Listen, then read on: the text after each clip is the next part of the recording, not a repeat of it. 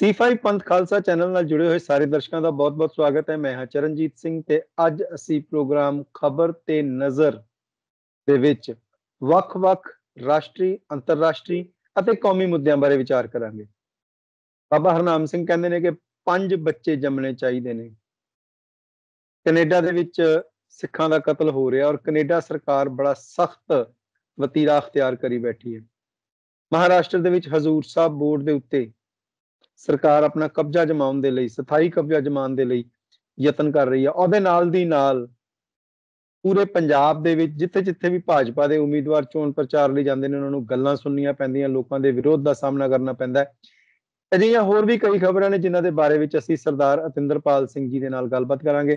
ਸਰਦਾਰ ਸਾਹਿਬ, ਵਾਹਿਗੁਰੂ ਜੀ ਕਾ ਖਾਲਸਾ, ਵਾਹਿਗੁਰੂ ਜੀ ਕੀ ਫਤਿਹ। ਵਾਹਿਗੁਰੂ ਜੀ ਕਾ ਖਾਲਸਾ, ਵਾਹਿਗੁਰੂ ਜੀ ਕੀ ਫਤਿਹ ਜੀ। ਬਾਬਾ ਹਰਨਾਮ ਸਿੰਘ ਜੀ ਕਹਿੰਦੇ ਨੇ ਕਿ ਸਿੱਖਾਂ ਨੂੰ ਘੱਟੋ ਘੱਟ 5-5 ਬੱਚੇ ਪੈਦਾ ਕਰਨੇ ਚਾਹੀਦੇ ਨੇ। ਜੀ। ਬਹੁਤ ਅੱਛੀ ਗੱਲ ਆ ਜੀ। ਮੈਂ ਬਾਬਾ ਹਰਨਾਮ ਸਿੰਘ ਜੀ ਦੀ ਇਸ ਐਡਵਾਈਸ ਦਾ ਸਵਾਗਤ ਕਰਦਾ। ਸਿੱਖ ਕੌਮ ਦੇ ਹੱਕ ਵਿੱਚ ਜੋ ਵੀ ਬੰਦਾ ਜਿਹੜੀ ਮਰਜ਼ੀ ਗੱਲ ਕਰੇ ਉਹਦਾ ਸਾਨੂੰ ਸਾਰਿਆਂ ਨੂੰ ਸਵਾਗਤ ਕਰਨਾ ਚਾਹੀਦਾ। ਧੜੇਬੰਦੀ ਤੇ ਆਪਸੀ ਵਿਚਾਰ ਮਤਭੇਦ ਤੋਂ ਬਾਹਰ ਨਿਕਲ ਕੇ ਸਵਾਗਤ ਕਰਨਾ ਚਾਹੀਦਾ। ਇਹੀ ਗੱਲ ਬਹੁਤ ਪਹਿਲਾਂ ਜਿਸ ਵੇਲੇ ਗ੍ਰਹਿ ਮੰਤਰੀ ਹੁੰਦੇ ਸੀ ਸਰਦਾਰ ਸੁਖਬੀਰ ਸਿੰਘ ਜੀ, ਉਹਨਾਂ ਨੇ ਵੀ ਇਹ ਗੱਲ ਕਹੀ ਸੀ ਤੇ ਮੈਂ ਉਦੋਂ ਉਹਨਾਂ ਦਾ ਵੀ ਸਵਾਗਤ ਕੀਤਾ ਸੀ।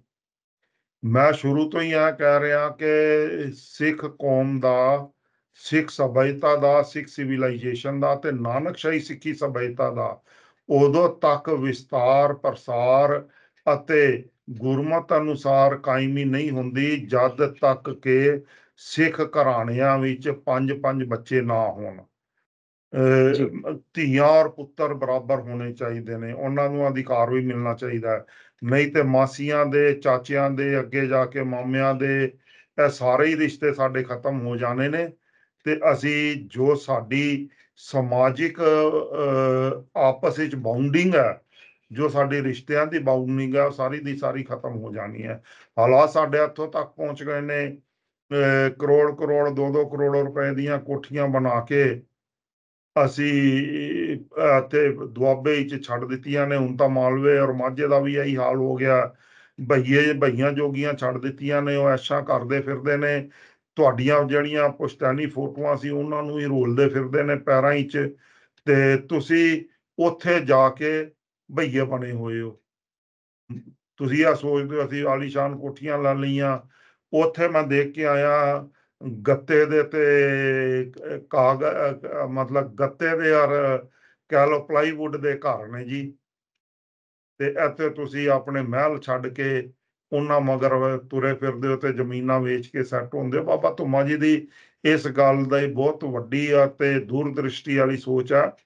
ਤੇ ਮੈਂ ਤਾਂ ਬਾਬਾ ਧੁਮਾ ਜੀ ਨੂੰ ਬੇਨਤੀ ਕਰਾਂਗਾ ਕਿ ਉਹ ਵੀ ਆਨੰਦ ਕਾਰਜ ਕਰਾਉਣ ਤੇ ਪੰਜ ਪੰਜ ਬੱਚੇ ਉਹ ਵੀ ਜੰਮਣ। ਬਿਲਕੁਲ ਠੀਕ ਹੈ ਜੀ ਕਿਸੇ ਸੰਤ ਕੋਲ ਕੋਈ ਬੀਬੀ ਗਈ ਸੀ ਬੱਚਾ ਲੈ ਕੇ ਤੇ ਉਹ ਕਹਿੰਦੀ ਜੀ ਇਹ ਗੁੜ ਬੜਾ ਖਾਂਦਾ ਕਹਿੰਦਾ ਇਹਨੂੰ 15 ਦਿਨਾਂ ਬਾਅਦ ਲੈ ਆਇਓ। ਬਿਲਕੁਲ। ਤਾਂ 15 ਦਿਨਾਂ ਬਾਅਦ ਬਾਬੇ ਨੇ ਕਿਹਾ ਜੀ ਕਾਕਾ ਗੁੜ ਨਹੀਂ ਖਾਈਦਾ ਹੁੰਦਾ। ਤੇ ਉਹ ਕਹਿੰਦੀ ਬਾਬਾ ਜੀ ਇਹ ਗੱਲ ਤੁਸੀਂ 15 ਦਿਨ ਪਹਿਲਾਂ ਕਹਿ ਸਕਦੇ ਸੀ ਉਹ ਕਹਿੰਦਾ ਉਦੋਂ ਮੈਂ ਵੀ ਗੁੜ ਖਾਂਦਾ ਸੀ। ਬਿਲਕੁਲ। ਗੱਲ ਇਹ ਆ ਵੀ ਕੌਮ ਨੂੰ ਸਲਾਹ ਬਾਬਾ ਜੀ ਦੀ ਬਿਲਕੁਲ ਠੀਕ ਹੈ ਪਰ ਬਾਬਾ ਜੀ ਨੂੰ ਵੀ ਗੁਰਮਤ ਅਨਸਾਰ ਗ੍ਰਸਤ ਮਾਰਗ ਦੇ ਵਿੱਚ ਪ੍ਰਵੇਸ਼ ਕਰਕੇ ਤੇ ਪਹਿਲ ਕਰਨੀ ਚਾਹੀਦੀ ਹੈ ਬਿਲਕੁਲ ਸਹੀ। ਉਹਨੂੰ ਪੰਜ ਬੱਚੇ ਦੇਣੇ ਚਾਹੀਦੇ ਆ ਜੀ ਮੈਂ ਇਹ ਗੱਲ ਸੁਖਬੀਰ ਬਾਦਲ ਨੂੰ ਵੀ ਕਹੀ ਸੀ ਜਦੋਂ ਉਹਨੇ ਕਹੀ ਸੀ ਮੈਂ ਕਿਹਾ ਬਈ ਤੁਸੀਂ ਵੀ ਅੱਗੇ ਵਧੋ ਅਸੀਂ ਸਵਾਗਤ ਕਰਾਂਗੇ। ਅੱਛਾ ਇੱਕ ਖਬਰ ਜਿਹੜੀ ਪੰਜਾਬ ਦੀਆਂ ਚੋਣਾਂ ਨਾਲ ਸੰਬੰਧਿਤ ਹੈਗੀ ਆ ਉਹਦੇ ਵਿੱਚ ਆ ਰਿਹਾ ਕਿ ਭਾਰਤੀ ਜਨਤਾ ਪਾਰਟੀ ਦੇ ਉਮੀਦਵਾਰ ਜਦੋਂ ਵੀ ਕਿਸੇ ਜਗ੍ਹਾ ਦੇ ਉੱਤੇ ਚੋਣ ਪ੍ਰਚਾਰ ਲਈ ਜਾਂਦੇ ਨੇ ਤੇ ਲੋਕਾਂ ਦੇ ਵਿਰੋਧ ਦਾ ਬੜਾ ਸਾਹਮਣਾ ਕਰਨਾ ਪੈਂਦਾ ਹੈ। ਜੀ। ਕੱਲ ਦੀ ਖਬਰ ਹੈ ਕਿ ਰਵਨੀਤ ਬਿੱਟੂ ਰੜਾ ਸਾਹਿਬ ਵਿੱਚ ਚੋਣ ਪ੍ਰਚਾਰ ਵਾਸਤੇ ਗਏ ਸੀ ਉੱਥੋਂ ਬਿਰੰਗ ਮੋੜ ਦਿੱਤੇ ਗਏ। ਜੀ। ਲੋਕਾਂ ਦੇ ਵਿੱਚ ਭਾਜਪਾ ਦੇ ਪ੍ਰਤੀ ਨਫ਼ਰਤ ਹੈ ਜਾਂ ਬਿੱਟੂ ਪ੍ਰਤੀ ਵਿਰੋਧ ਹੈ? ਨਹੀਂ ਜੀ ਪੰਜਾਬ ਦੇ ਲੋਕੀ ਭਾਜਪਾ ਨੂੰ ਅਸੈਪਟ ਨਹੀਂ ਕਰਦੇ ਕਿਸੇ ਵੀ ਕੀਮਤ ਤੇ ਨਹੀਂ ਕਰਦੇ ਉਸ ਦੀਆਂ ਬੇਸਿਕ ਵਜ੍ਹਾ ਨੇ। ਦੇਖੋ ਕਾਂਗਰਸ ਸਾਡੇ ਤੇ ਖੁੱਲੇ ਹਮਲੇ ਕਰਦੀ ਸੀ। ਜੀ। ਸਾਡੇ ਤੇ ਧਾੜਵੀ ਬਣ ਕੇ ਆਂਦੀ ਰਹੀ ਹੈ। ਭਾਰਤ ਸਰਕਾਰ ਵੀ ਤੇ ਕਾਂਗਰਸ ਦੀ ਸਰਕਾਰ ਵੀ ਪਾਰਟੀ ਵੀ। ਜੀ ਜੀ। ਲੋਕਾਂ ਨੇ ਉਸ ਨੂੰ ਮੁਕਾਬਲਾ ਵੀ ਕੀਤਾ ਲਤਾੜਿਆ ਵੀ ਜਵਾਬ ਵੀ ਦਿੱਤਾ। ਔਰ ਉਸ ਦੇ ਬਾਵਜੂਦ ਜਿਸ ਵੇਲੇ ਉਹ ਉਹਦੀ ਲੋਕਲ ਲੀਡਰਸ਼ਿਪ ਸੁਧਰੀ ਤੇ ਉਹਨਾਂ ਨੇ ਉਹਨੂੰ ਅਸੈਪਟ ਵੀ ਕੀਤਾ। ਦੇਖੋ ਮੈਂ ਪੰਜਾਬ ਦੀ ਮਾਨਸਿਕਤਾ ਦੀ ਗੱਲ ਕਰਨ ਜਾ ਰਿਹਾ ਸਿੱਖ ਮਾਨਸਿਕਤਾ ਦੀ ਗੱਲ ਕਰਨ ਜਾ ਰਿਹਾ। ਕਿਉਂਕਿ ਉਹ ਫੁੱਲਾ ਹਮਲਾਵਰ ਸੀ। ਬਿਲਕੁਲ। ਠੀਕ ਹੈ ਨਾ? ਔਰੰਗਜ਼ੇਬ। ਫੁੱਲਾ ਹਮਲਾਵਰ ਸੀ ਬਹਾਦਰ ਸ਼ਾਹ ਨੇ ਹੱਥ ਮਿਲਾਇਆ ਤੇ ਸਿੱਖਾਂ ਨੇ ਸਵਾਗਤ ਕੀਤਾ। ਠੀਕ ਹੈ ਨਾ ਜੀ? ਜਿਹੜੀ ਆ ਭਾਜਪੀ ਹੈ ਭਾਜਪਾ ਹੈਗੀ ਹੈ ਗੁੱਜੀ ਹਮਲਾਵਰ ਹੈ ਇਹ ਦੂਜਿਆਂ। ਦੇ ਮੋਢਿਆਂ ਨੂੰ ਇਸਤੇਮਾਲ ਕਰਦੀ ਅਹ ਤੀਜਾ ਘੱਲੂਕਾਰਾ ਕਰਾਉਣ ਵਾਲੇ ਅਡਵਾਨੀ ਜੋਸ਼ੀ ਇਹ ਔਰ ਆਰਐਸਐਸ ਵਾਲੇ ਸੀ। ਠੀਕ ਹੈ ਨਾ ਜੀ? ਜਿਹੜੇ ਬੂਸਟ ਕਰਦੇ ਸੀ ਪੰਪ ਮਾਰਦੇ ਸੀ ਸਹਾਇਤਾ ਕਰਦੇ ਸੀ ਫਿਰ ਇੰਦਰਾ ਨੂੰ ਉਹਨਾਂ ਨੇ ਦੁਰਗਾ ਤੱਕ ਦਾ ਵਾਜਪਈ ਅਡਵਾਨੀ ਜੀ ਨੇ ਖਿਤਾਬ ਦਿੱਤਾ ਵੀ ਤੂੰ ਬਹੁਤ ਵਧੀਆ ਕੰਮ ਕੀਤਾ ਠੀਕ ਹੈ। ਭਾਜਪਾ ਭਾਜਪਾ ਸਿੱਖ ਥਾਟ ਦੀ ਤੇ ਨਾਨਕਸ਼ਾਹੀ ਸਿੱਖੀ ਪ੍ਰਣਾਲੀ ਦੀ ਵੱਡੀ ਦੁਸ਼ਮਣ ਹੈ ਔਰ ਹਮੇਸ਼ਾ ਹੀ ਗੁਰੂ ਨਾਨਕ ਪਾਤਸ਼ਾਹ ਜੀ ਦੇ ਸਮੇਂ ਤੋਂ ਲੈ ਕੇ ਜਿਹੜਾ ਭਾਜਪਾ ਦਾ ਚਿੱਤ ਪਾਵਨ ਬ੍ਰਾਹਮਣ ਹੈ ਚਿੱਤ ਪਾਵਨ ਬ੍ਰਾਹਮਣ ਜਿਹੜਾ ਹਮੇਸ਼ਾ ਹੀ ਆਰਐਸਐਸ ਦਾ ਮੁਖੀ ਬਣਦਾ।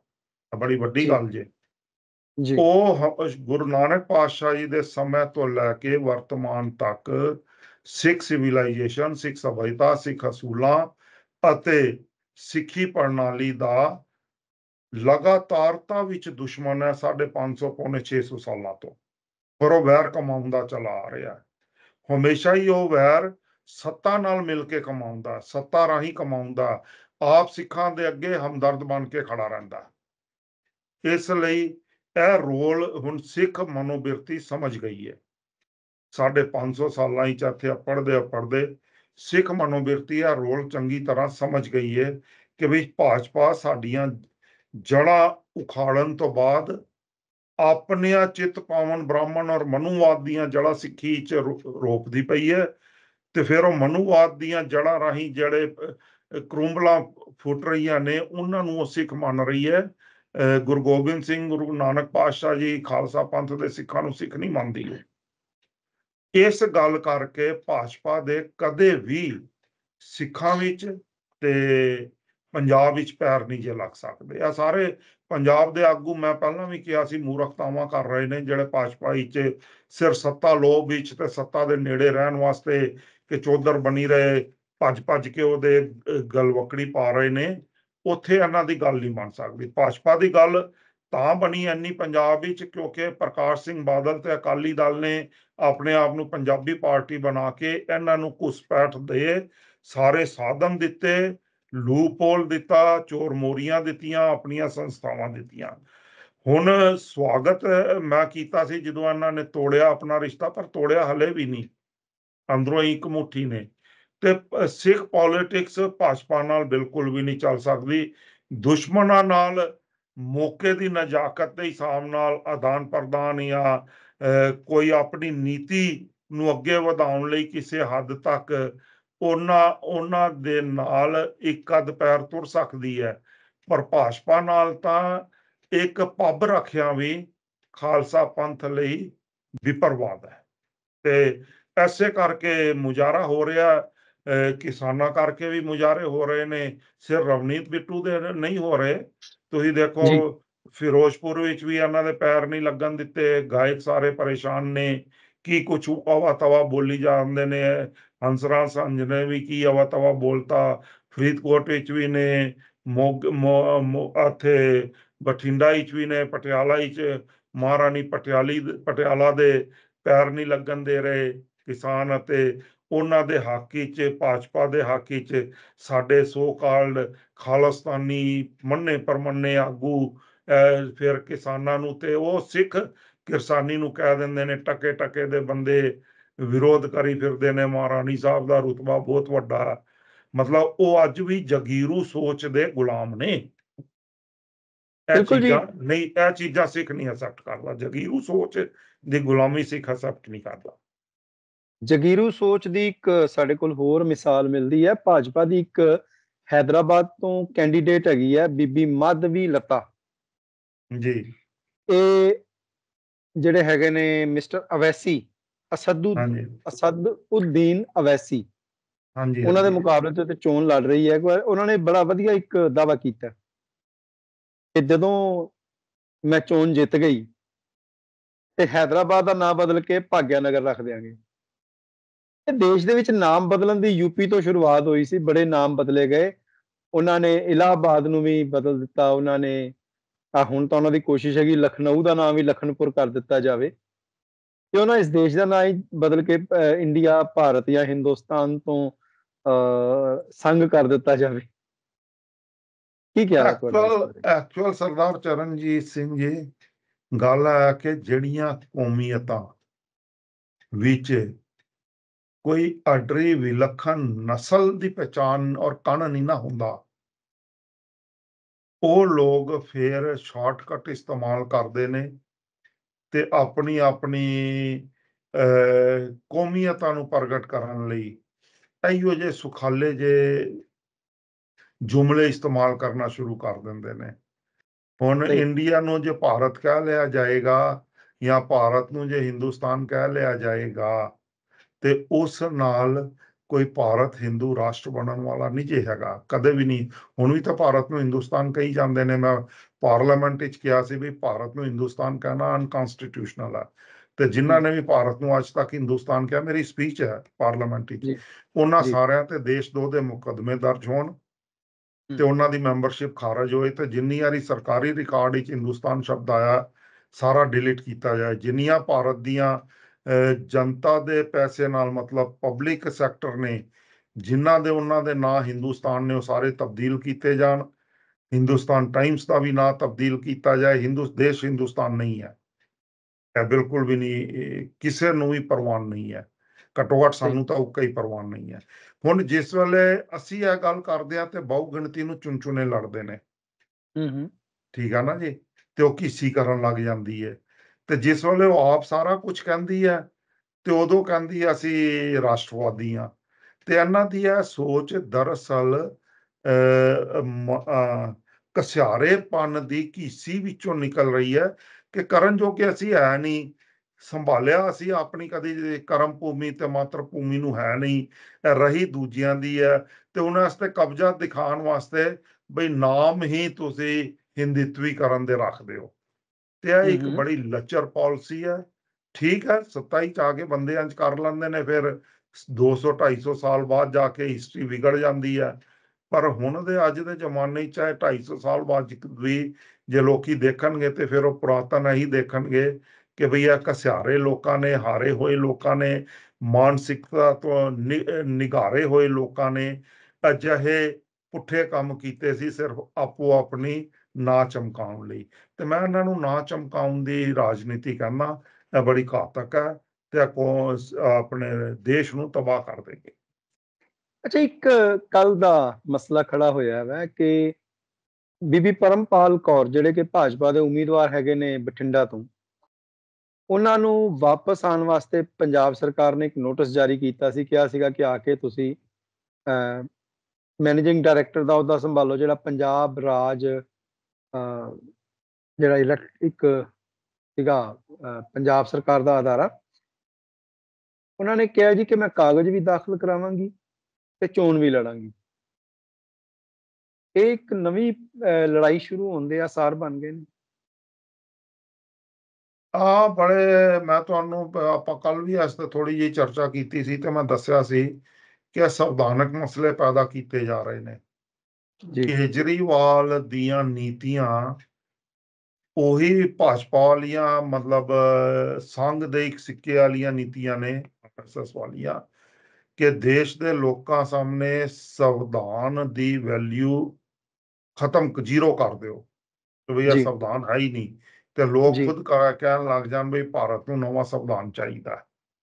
ਔਰ ਇਸ ਕੰਮ ਵਾਸਤੇ ਜਿਹੜੇ ਸੰਵਿਧਾਨ ਦੇ ਰੱਖਿਅਕ ਸੀ ਬਾਬਾ ਸਾਹਿਬ ਅੰਬੇਡਕਰ ਜਿਨ੍ਹਾਂ ਨੂੰ ਮੰਨਿਆ ਜਾਂਦਾ ਉਹਨਾਂ ਨਾਲ ਜਿਹੜੇ ਜੁੜੇ ਹੋਏ ਜਮਾਤ ਹੈ, ਉਸੇ ਨੂੰ ਹੀ ਹਿੰਦਿਤਵੀਕਰਨ ਕਰਕੇ ਉਸੇ ਤੋਂ ਹੀ ਡਿਮਾਂਡ ਕਰਵਾਈ ਜਾ ਰਹੀ ਹੈ। ਬੇਸਿਕ ਕਹਾਣੀ ਵੀ ਆ ਬਣਾਈ ਗਈ ਹੈ। ਹੁਣ ਬੀਬੀ ਪਰਮਪਾਲ ਕੌਰ ਨੇ ਜਿਹੜਾ ਇੱਕ ਫੈਸਲਾ ਲੈ ਲਿਆ, ਇਸ ਨਾਲ ਫੇਰ ਮੈਂ ਕਹਾਂਗਾ ਕਾਨੂੰਨੀ ਮਸਲੇ ਨਹੀਂ, ਸੰਵਿਧਾਨਕ ਮਸਲੇ ਖੜੇ ਹੋ ਰਹੇ ਨੇ। ਤੇ ਆਦੇਸ਼ ਤਾਂ ਹੁਣ ਪੰਜਾਬ ਸਰਕਾਰ ਨੂੰ ਅਦਾਲਤ ਵਿੱਚ ਹੀ ਜਾਣਾ ਪੈਣਾ ਤੇ ਅਦਾਲਤ ਹੀ ਫੈਸਲਾ ਕਰੇਗੀ ਕਿ ਬਠਿੰਡਾ ਸੀਟ ਦਾ ਕੀ ਹੋਏਗਾ। ਲੇਕਿਨ ਬਠਿੰਡੇ ਦੀ ਉਹ ਗੱਲ ਚੱਲੀਏ ਤੇ ਕੱਲ ਮਜੀਠੀਆ ਸਾਹਿਬ ਗਏ ਸੀਗੇ ਬਠਿੰਡੇ ਦੇ ਵਿੱਚ। ਹਾਂਜੀ। ਤੇ ਉੱਥੇ ਜਾ ਕੇ ਆਪਣੀ ਭੈਣ ਦੇ ਹੱਕ ਵਿੱਚ ਉਹਨਾਂ ਨੇ ਚੋਣ ਪ੍ਰਚਾਰ ਵੀ ਕੀਤਾ ਤੇ ਉਹਨਾਂ ਨੇ ਕਿਹਾ ਬੀਜੇਪੀ ਜਿਹੜੀ ਹੈਗੀ ਆ ਉਹ ਚੋਣ ਮੈਦਾਨ ਚੋਂ ਭੱਜ ਰਹੀ ਹੈ। ਜੀ। ਤੇ ਮੈਂ ਤਾਂ ਮੈਂ ਤਾਂ ਕੱਲ ਵੀ ਇਹ ਗੱਲ ਕਹੀ ਸੀ ਕਿ ਸਰਦਾਰ ਸੁਖਬੀਰ ਬਾਦਲ ਦੇ ਆਲਰੇਡੀ ਸਮਝੌਤੇ ਨੇ ਸਾਰੀ ਚੀਜ਼ ਹੈ। ਜੀ। ਤੇ ਆਪਣਾ ਮਾਨ ਭਗਵੰਤ ਮਾਨ ਨੇ ਮਤਲਬ ਉਹਨਾਂ ਦੀ ਇੱਛਾ ਪੂਰਤੀ ਕਰ ਦਿੱਤੀ ਹੈ ਬੀਬੀ? ਪਰਮਪਾਲ ਕੌਰ ਨੂੰ ਨੋਟਿਸ ਦੇ ਉਹ ਇੱਛਾ। ਪਰ ਮੇਰੀ ਉਸੇ ਗੱਲ ਦੀ ਪੁਸ਼ਟੀ ਕਿ ਵੀ ਵਾਕਈ ਹੀ ਅਕਾਲੀ ਦਲ ਨੇ ਇੱਕ ਬਠਿੰਡਾ ਸੀਟ ਲਈ ਬਾਕੀ ਸਾਰਾ ਪੰਜਾਬ ਭਾਜਪਾ ਲਈ ਛੱਡ ਦਿੱਤਾ। ਅੱਜ ਸਰਦਾਰ ਮਜੀਠਾ ਵੱਲੋਂ ਕੀਤੀ ਹੋਈ ਟਿੱਪਣੀ ਮੇਰੀ ਗੱਲ ਦੀ ਹੀ ਪੁਸ਼ਟੀ ਕਰਦੀ ਹੈ। ਪਰ ਮੈਂ ਅੱਜ ਇੱਕ ਗੱਲ ਹੋਰ ਕਹਿਣੀ ਚਾਹੁੰਦਾ ਤੁਹਾਨੂੰ। ਜੀ। ਮੈਂ ਆਪਣੇ ਦਰਸ਼ਕਾਂ ਨੂੰ ਵੀ ਕਹਾਂਗਾ ਵੀ ਵੀਡੀਓ ਪੂਰੀ ਧਿਆਨ ਨਾਲ ਦੇਖਿਆ ਕਰੋ ਸੁਣਿਆ ਕਰੋ। ਨਾ ਸਮਝ ਆਇਆ ਕਰੇ ਤਾਂ ਰਿਵਾਈਂਡ ਕਰਕੇ ਵੀ ਦੇਖ ਲਿਆ ਕਰੋ। ਪਰ। ਜ਼ਰੂਰੀ ਜ਼ਰੂਰੀ ਹੈ ਸੁਣਿਆ ਜ਼ਰੂਰ ਪੂਰੀ ਕਰੋ। ਤਾਂ ਜੋ ਸਾਨੂੰ ਦ੍ਰਿਸ਼ਟੀਕੋਣ ਤੇ ਨੈਰੇਟਿਵ ਪੰਜਾਬ ਦੇ ਪੱਖ ਵਿੱਚ ਖੜਾ ਕਰਨ ਵਿੱਚ ਤੇ ਬਣਾਉਣ ਵਿੱਚ ਸਹਾਇਤਾ ਮਿਲੇ। ਕੱਲ ਇੱਕ ਹੈ ਸਾਡੀ ਵੀਡੀਓ ਤੇ ਐਸੇ ਟਿੱਪਣੀ ਤੇ ਮੈਂ ਕਿਹਾ ਸੀ ਵੀ ਮਾਨ ਸਾਹਿਬ ਨੇ ਹੈਲਪ ਕਰ ਦਿੱਤੀ ਅਕਾਲੀ ਦਲ ਦੀ। ਤੇ ਅਹ, ਸੁਖਬੀਰ ਬਾਦਲ ਨਾਲ ਉਹਨਾਂ ਦਾ ਸਮਝੌਤਾ ਸਪਸ਼ਟ ਹੋ ਗਿਆ ਕਿ ਭਈ ਭਾਜਪਾ ਨੂੰ ਜਤਾਓ। ਤੇ ਬਾਕੀ ਸੀਟਾਂ ਦੇ ਦਿਓ ਸੋਰੀ ਤੇ ਅਕਾਲੀ ਦਲ ਨੂੰ ਬਠਿੰਡੇ ਤੋਂ ਜਤਾਓ ਮਾਨ ਨੇ ਸਮਝੌਤਾ ਕਰ ਲਿਆ। ਹੁਣ ਪਤਾ ਨਹੀਂ ਉਹ ਕਈਓ ਜੇ ਅੰਨੇ ਭਗਤ ਹੁੰਦੇ ਨੇ ਜੀ ਉਹ ਕੋਈ ਮਾਨ ਦਾ ਭਗਤ ਸੀ ਉਹਨੇ ਕਹਿਤਾ ਤਿੰਦਰਪਾਲ ਸਿੰਘ ਜੀ ਤੁਹਾਡੀ ਤਾਂ ਜਾਤੀ ਰੰਜਿਸ਼ ਆ ਸਿਮਰਨਜੀਤ ਸਿੰਘ ਮਾਨ ਨਾਲ ਹਰ ਥਾਂ ਤੇ ਤੁਸੀਂ ਉਹਨੂੰ ਕਸੀਟ ਲਿਆਦੇ ਹੋ ਤੇ ਮੈਨੂੰ ਹਾਸਾ ਵੀ ਆਇਆ ਯਾਰ ਤੂੰ ਆਪਣੀ ਮੂਰਖਤਾ ਟਿੱਪਣੀ ਚ ਦਰਜ ਕਰ ਰਿਹਾ। ਤੇ ਮੈਂ ਬੇਨਤੀ ਕਰਾਂਗਾ ਧਿਆਨ ਨਾਲ ਸੁਣਿਆ ਕਰੋ ਵੀਡੀਓ ਜੀ ਉਹ ਭਗਵੰਤ ਮਾਨ ਨੂੰ ਸਿਮਰਨਜੀਤ ਸਿੰਘ ਮਾਨ ਸਮਝੀ ਹਾਂਜੀ, ਹਾਂ। ਕਿਉਂਕਿ ਅੰਨੇ ਭਗਤ ਨੇ ਨਾ ਜੀ ਉਧਰ ਵੀ ਅੰਨੇ ਭਗਤ ਨੂੰ- ਇੱਧਰ ਵੀ ਅੰਨੇ ਭਗਤ ਨੇ ਭਗਵੰਤ ਮਾਨ ਸਿਮਰਨਜੀਤ ਸਿੰਘ ਮਾਨ ਗੁਰਦਾਸ ਮਾਨ ਹਰਭਜਨ ਮਾਨ ਚ ਕੋਈ ਫ਼ਰਕ ਨਜ਼ਰ ਨਹੀਂ ਆਉਂਦਾ। ਹੁਣ ਅਸੀਂ ਲੱਗੇ ਹੋਏ ਆ ਸੁਜਾਖਾ ਕਰਨ ਉਹ ਕਹਿੰਦੇ ਅਸੀਂ ਸੁਜਾਖਾ ਹੋਣਾ ਹੀ ਨਹੀਂ। ਤੁਸੀਂ ਜੋ ਮਰਜ਼ੀ ਜ਼ੋਰ ਲਾ ਲਓ। ਇਹ ਇੱਕ ਤਰਾਸਦੀ ਹੈ ਸਾਡੇ ਦੇਸ਼ ਦੀ ਸਿਆਸਤ ਦੀ। ਔਰ ਸਿਆਸਤ ਦੀ ਗੱਲ ਚੱਲਦੀ ਪਈ ਹੈ ਤੇ ਕੱਲ ਮੋਦੀ ਸਾਹਿਬ ਨੇ ਆਪਣੇ ਆਕਾਵਾਂ ਨੂੰ ਵੀ ਕਟਹਿਰੇ 'ਚ ਖੜਾ ਕਰਨ ਦੀ ਕੋਸ਼ਿਸ਼ ਕੀਤੀ ਹੈ। ਉਹਨਾਂ ਨੇ ਰਾਹੁਲ ਗਾਂਧੀ ਨੂੰ ਸੰਬੋਧਨ ਹੁੰਦਿਆਂ ਕਿਹਾ ਕਿ ਸ਼ਹਿਜ਼ਾਦਾ ਦੱਸੇ ਅੰਬਾਨੀ ਤੇ ਅੰਡਾਨੀ ਕੋਲੋਂ ਕਿੰਨਾ ਮਾਲ ਲਿਆ? ਲੇਕਿਨ ਅੱਜ ਤੱਕ ਇਹ ਕਿਹਾ ਜਾਂਦਾ ਸੀ ਪਿਛਲੇ 10 ਸਾਲ ਤੋਂ ਕਿ ਅੰਬਾਨੀ ਤੇ ਅਡਾਨੀ ਜਿਹੜੇ ਹੈਗੇ ਨੇ, ਉਹ ਮੋਦੀ ਸਾਹਿਬ ਦੇ ਗॉडਫਾਦਰ ਨੇ। ਦੇਖੋ ਪ੍ਰੈਕਟੀਕਲੀ ਉਹ ਭਾਜਪਾ ਦੇ ਤੇ ਮੋਦੀ ਸਾਹਿਬ ਦੇ ਗॉडਫਾਦਰ ਨੇ ਜੀ। ਇਹ ਇਲੈਕਟੋਰਲ ਬਾਂਡ ਤੋਂ ਸਿਵਾ ਕਿੰਨੇ ਕੁ ਕੰਟੇਨਰ ਕਿੱਧਰ ਨੂੰ ਗਏ ਆਏ, ਕਿੰਨਾ ਕੁ ਬਿਜ਼ਨਸ ਕਿੰਨੂੰ ਮਿਲਿਆ। ਹੁਣ ਦੇਖੋ, ਸਾਇਰਸ ਜਿਹੜਾ ਸੀ 250% ਤਰੱਕੀ ਕਰ ਗਿਆ ਸਿਰ ਕਰੋਨਾ ਕਾਲ ਵਿੱਚ ਹੀ, ਠੀਕ ਹੈ? ਪਰ ਉਹ ਬਾਂਡ ਵੀ ਦੇ ਗਿਆ ਤੇ ਉਂਝ ਵੀ ਬੜਾ ਕੁਝ ਹੋ ਗਿਆ ਹੋਣਾ। ਪਰ ਅਡਾਨੀ ਅੰਬਾਨੀ ਨੂੰ ਅਡਾਨੀ ਨੂੰ ਤੁਸੀਂ ਸਾਰੇ ਪੋਰਟ ਵੀ ਦੇ ਦਿੱਤੇ, ਹਵਾਈ ਅੱਡੇ ਵੀ ਦੇਤੇ ਰੇਲਵੇ ਵੀ ਦੇਤੀ, ਇਹ ਇਹ ਜਿਹੜਾ ਈਰਾਨ ਵਿੱਚ ਇਨਵੈਸਟਮੈਂਟ ਸੀ, ਉਹ ਵੀ ਸਾਰੀ ਤੁਸੀਂ ਉਹਨੂੰ ਦੇਤੀ ਭਾਰਤ ਸਰਕਾਰ ਦੀ ਨੂੰ, ਦੀ। ਆਪਣਾ ਅੰਬਾਨੀ ਨੂੰ ਤੁਸੀਂ ਸਾਰਾ ਕੁਝ ਦੇਈ ਫਿਰਦੇ ਹੋ। ਤੇ ਉਹ ਅੰਬਾਨੀ ਦੀ ਮਿਸਿਜ ਹੁਣ ਮੋਦੀ ਸਾਹਿਬ ਨਹੀਂ ਦੱਸਦੇ ਬਾਈ ਅੰਬਾਨੀ ਦੀ ਮਿਸਿਜ ਨੂੰ ਤੁਸੀਂ ਆਪਣਾ ਪ੍ਰਧਾਨ ਮੰਤਰੀ ਦਾ ਸਲਾਹਕਾਰ ਤੱਕ ਨਿਯੁਕਤ ਕਰਕੇ ਰੱਖਿਆ ਹੋਇਆ ਸੀ।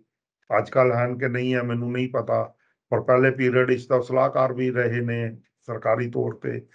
ਤੇ ਇਹ ਇੱਕ ਭਾਜਪਾ ਦੀ ਨਾ ਬੜੀ ਵੱਡੀ ਨੀਤੀ ਹੈ। ਜਿਹੜੀ ਕਿ ਹਿੰਦੁਤਵਾ ਬ੍ਰਾਹਮਣਵਾਦੀ, ਮਨੂਵਾਦੀ ਸੋਚ ਦੀ ਕਾਰਜ ਪ੍ਰਣਾਲੀ ਹੈ। ਕਿ ਜੋ ਕੁਝ ਤੁਸੀਂ ਆਪ ਕਰਦੇ ਹੋ।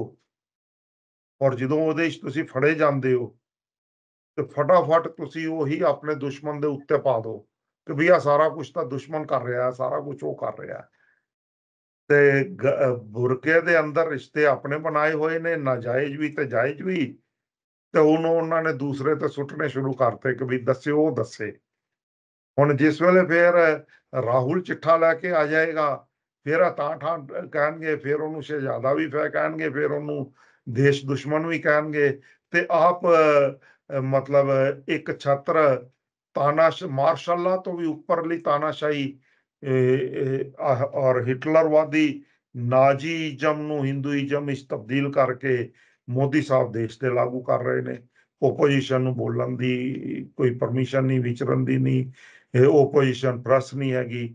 ਤੇ ਇਹ ਸਾਰੀਆਂ ਚੀਜ਼ਾਂ ਹੁਣ ਲੋਕੀ ਸਮਝ ਰਹੇ ਨੇ ਤੇ ਇਹ ਉਹ ਪਾਲਿਸੀ ਹੈ ਨਾਜ਼ੀਇਜ਼ਮ ਦੀ, ਇਹ ਹਿੰਦੂਇਜ਼ਮ ਦੀ, ਮਨੂਇਜ਼ਮ ਦੀ ਤੇ ਬ੍ਰਹਮਣਿਜ਼ਮ ਦੀ। ਇਹ ਸਾਰੀ ਇਕੱਠੀਆਂ ਦੀ ਇੱਕੋ ਪਾਲਿਸੀ ਜੇ ਜਿਹੜੀ ਸਵਸਤਿਕ ਦੇ ਅਧੀਨ ਆ ਜਾਂਦੀ ਹੈ ਕਿ ਜੋ ਕੁਝ ਤੁਸੀਂ ਕਰਦੇ ਹੋ ਜਦੋਂ ਫੜੇ ਜਾਓ, ਫਟਾਫਟ ਦੁਸ਼ਮਣ ਦੇ ਉੱਤੇ ਸਾਰਾ ਕੁਝ ਪਾ ਦਿਓ। ਤੇ ਰੱਜ ਕੇ ਪ੍ਰਚਾਰ ਕਰਨਾ ਸ਼ੁਰੂ ਕਰ ਦਿਓ ਵੀ ਉਹ ਦੁਸ਼ਮਣ ਉਹ ਦੁਸ਼ਮਣ ਦੇ ਬੰਦੇ ਨੇ, ਉਹ ਦੁਸ਼ਮਣ ਅੱਜ ਕਰ ਰਿਹਾ।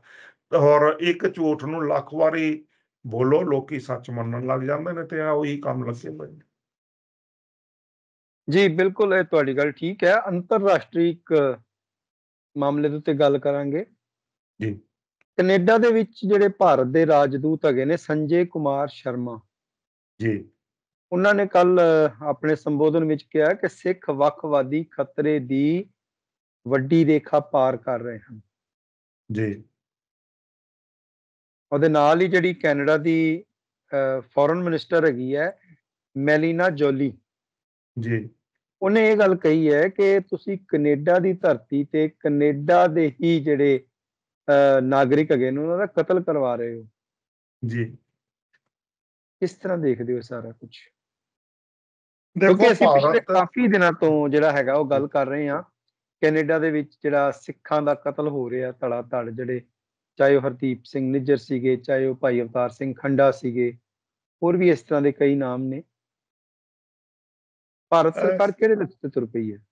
ਸਰਦਾਰ ਸਾਹਿਬ ਬੜੀ ਸਪਸ਼ਟ ਜਿਹੀ ਗੱਲ ਆ ਕਿ ਭਾਰਤ ਆਪਣੀਆਂ ਘਰ ਮੇ ਘੁਸ ਕੇ ਮਾਰੇਗੀ ਵਾਲੀ ਪਾਲਿਸੀ ਦੇ ਤਹਿਤ ਅੰਤਰਰਾਸ਼ਟਰੀ ਕੜਿੱਕੀ 'ਚ ਫਸ ਚੁੱਕਾ ਹੈ।